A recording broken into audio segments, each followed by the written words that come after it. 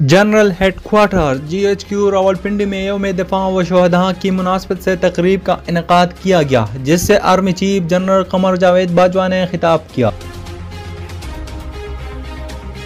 अपने खिताब में army chief general Qamar Javed Bajwa ने कहा, वो बतौर आर्मी चीफ आखिरी खिताब कर रहे हैं और चवालीस साल मिलिट्री सर्विस से रिटायर हो रहे हैं। जनरल कमर जावेद बाजवा के बतौर आर्मी चीफ आखिरी खिताब के अहम नुकात क्या है, ये देखिए इस वीडियो में।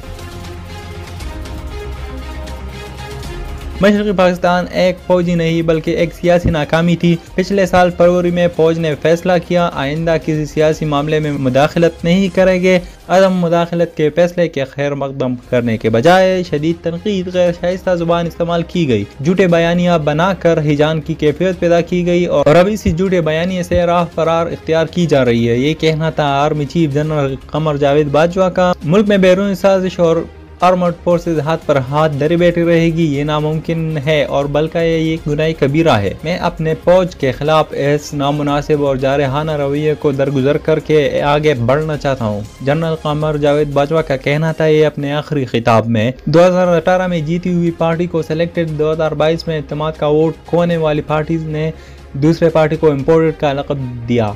हर पार्टी को अपनी पता और शिकस्त को कबूल करने का हौसला पैदा करना होगा, ताकि अगले इलेक्शन में एक इम्पोर्टेड या सेलेक्टेड गवर्नमेंट के बजाय इलेक्टेड गवर्नमेंट आए।